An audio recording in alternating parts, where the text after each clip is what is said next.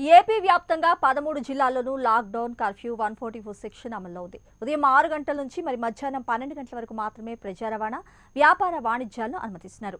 మధ్యాహ్నం పన్నెండు దాటిన తర్వాత అత్యవసర సేవలకు మాత్రమే ప్రజలు బయటికి రావాల్సిందే. అయితే కొందరు డిజాస్టర్ మేనేజ్మెంట్ చట్టాన్ని ఉల్లంఘించి ఇష్టారాజ్యంగా తిరిగేస్తున్నారు. అడ్డుకుంటున్న పోలీసులపై ఏకంగా తిరగబడుతున్నారు.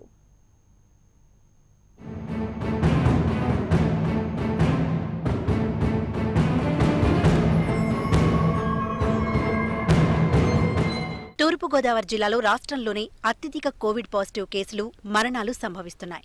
వీటిని అరికట్టేందుకు traffic law and order police రాత్రింబవళ్ళు కృషి చేస్తోంది.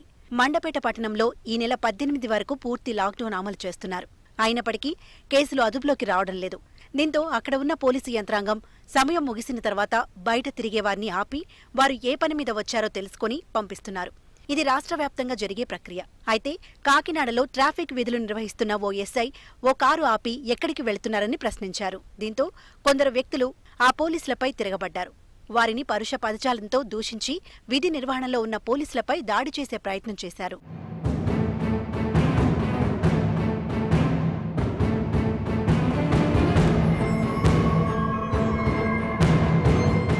కర్ఫ్యూ టైంలో బయటకు ఎందుకు వచ్చారు అని అడిగినందుకు తాగి నిన్ను కొట్టలేదు కదా అంటూ అక్కడ ఉన్న ట్రాఫిక్ ఎస్ఐపై ఎలా ప్రవర్తిస్తున్నాడో చూడండి. ఫైన్ కట్టమంటే ఇంటికి వచ్చి కట్టించుకోవాలంటున్నాడు ఈ ప్రబుద్ధుడు. ఇలాంటి వారు సమాజానికి చీడపురుగు లాంటివారు. ప్రజల కోసం ప్రాణాలకు తెగించి పనిచేస్తూ ఉంటే కొందరు ప్రజలు తిరుగుబాటు చేస్తున్నారని ఇలా అయితే తమ విధులు నిర్వహించలేమని విధి నిర్వహణలో ఉన్న పోలీసులు వాపోతున్నారు. ఉన్నతాధికారులు కూడా దీనిపై దృష్టి సారించాలని కోరుతున్నారు. కొంతమంది తాగి హెచ్చరికగా తిరుగుతూ మా ముందుకు రావడం జరుగుతుంది. మేము ఆపి వాళ్ళ ఐడెంటిఫికేషన్ అడుగుతున్నాం. అడిగితే దాన్ని వల్గరగా తీసుకొని వాళ్ళు ఇష్టం వచ్చిన విధంగా మాట్లాడుతున్నారు. మేము సహనం సహనంతో ఉద్యోగాలు చేస్తూ కష్ట నష్టాలను ఓర్చుకుంటూ చేస్తూ ఉంటే ఆకతాయితనంగా తాగి వచ్చి ఇష్టాసరమైన వల్గర లాంగ్వేజ్ ఉపయోగిస్తున్నారు. పోలీసు ఒక్కడికే బాధ్యత ఉన్నట్టుగా ప్రజలకి ఏ విధమైన బాధ్యత లేనట్టుగా ప్రవర్తిస్తున్నారు కాబట్టి మేము ఈ టైప్ ఆఫ్ ఇలా ఎదురు తిరిగే వాళ్ళని ఇది ఐడెంటిఫికేషన్ అడగడం మా ధర్మంగా మేము అడుగుతున్నాం.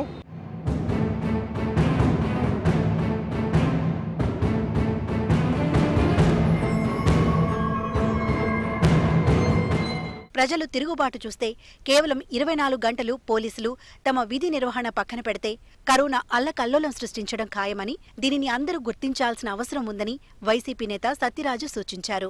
ఈ లాక్డౌన్ కారణంగా మనకి పర్మిషన్ ఇచ్చింది గవర్నమెంట్. ఉదయం ఆరు గంటల నుంచి పది గంటల వరకు పన్నెండు తర్వాత ఎవరైనా వెహికల్ తీసుకెళ్ళినప్పుడు పోలీసులు ఆపుతున్నారు. వాళ్ళ వృత్తి ధర్మంగా మన కోసం ఆపుతున్నారు. కానీ రీజన్ అడిగి అంత పంపించేస్తున్నారు. అంతకుమించి ఇబ్బంది పెడతలేదు. మినిమం అందరూ కూడా హాస్పిటల్ పని అయితేనే బయటకు రావాలని కోరుకుంటున్నాం. పోలీసు మీద తిరగబడడం అనేది చాలా దారుణం అది. ఎందుకంటే వాళ్ళు కూడా ప్రాణాలు తెగించి డాక్టర్లు కానీ పోలీసులు కానీ విలేకరులు కానీ ఎవరైనా సరే ప్రాణాలు తెగించి పనిచేస్తున్నారు. వాళ్ళకి సహకరించవలసింది కోరుతున్నాం రాష్ట్ర వ్యాప్తంగా పదమూడు జిల్లాల్లో లాక్డౌన్ అమల్లో ఉంది. ఉదయం ఆరు గంటల నుంచి మధ్యాహ్నం పన్నెండు గంటల వరకు మాత్రమే వాహనాలు అనుమతిస్తారు ఎందుకంటే కేవలం అత్యవసర సర్వీసులు హాస్పిటల్కి వెళ్ళడానికో లేదా పాలు తెచ్చుకోవడంగా మందుల కోసం మాత్రమే అనుమతిస్తున్నారు. కొంతమంది మద్యం సేవించి ఇష్టరాజ్యంగా తిరగబడ్డం నాకు వాళ్ళు తెలుసు వీళ్ళు తెలుసు నేను ఉద్యోగం ఓడకూడదని బెదిరించడం సంఘటన జరుగుతున్నాయి.